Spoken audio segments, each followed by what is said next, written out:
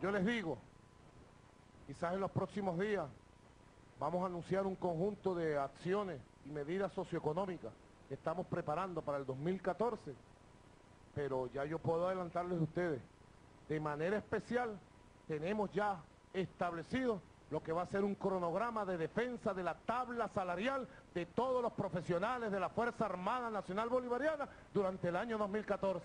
Especial. Como va a ser especial para todos los trabajadores de la patria. Para la clase obrera, para la clase media. La defensa del salario, del ingreso,